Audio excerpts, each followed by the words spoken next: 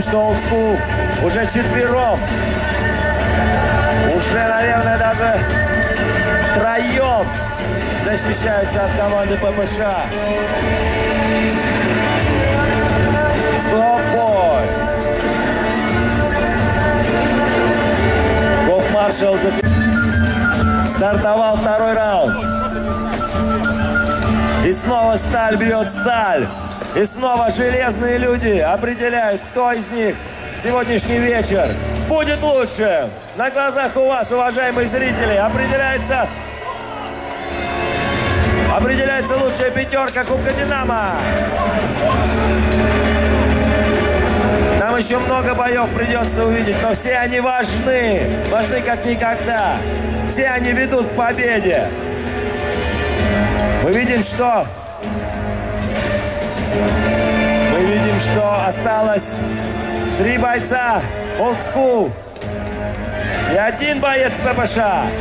Стоп, бой, второй раунд окончен. 3-0. Победа команды Old School. Счет по раунду.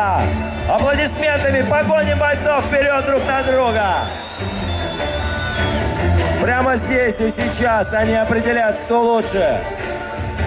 Old School или ППШ.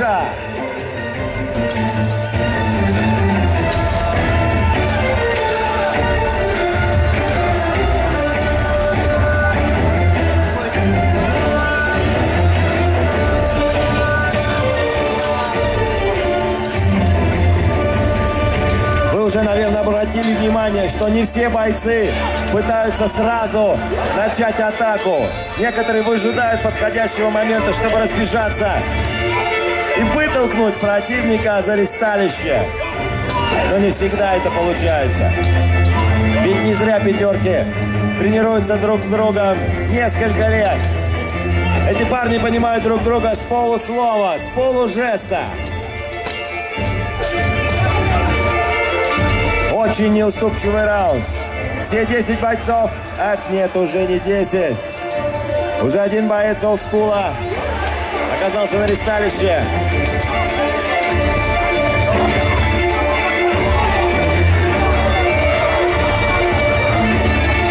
команде ППШ тем временем мне подсказывают, есть американский легионер. Именно он произвел этот чудо-бросок и продолжает сражаться дальше. Осталось 6 бойцов. Три на стороне ППШ, трое олдскул. Какая упорная борьба. Еще бы, возможно, в этом раунде определится победитель схватки.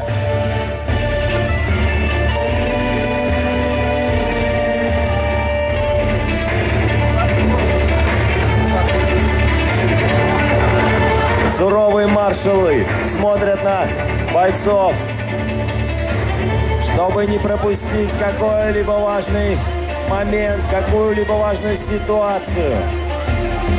Самые внимательные люди – это маршалы на ресталище. Итак,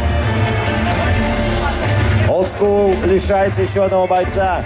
И ППШ продолжает уже троем, троем атаковать своих врагов.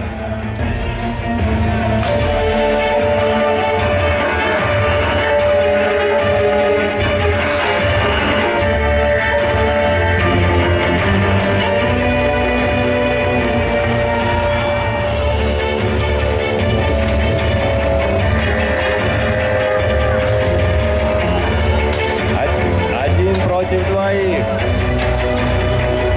Один против двоих. ППШ давит. Но олдскул не сдается.